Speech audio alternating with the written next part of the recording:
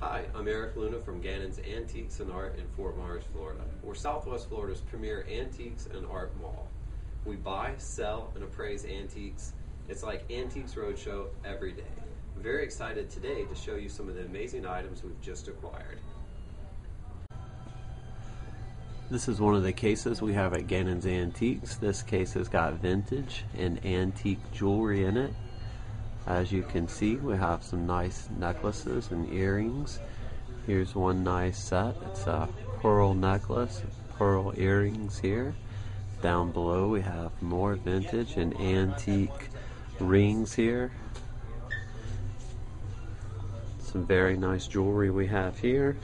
This is just one of the cases that we have at Gannon's Antiques. Vintage and antique jewelry.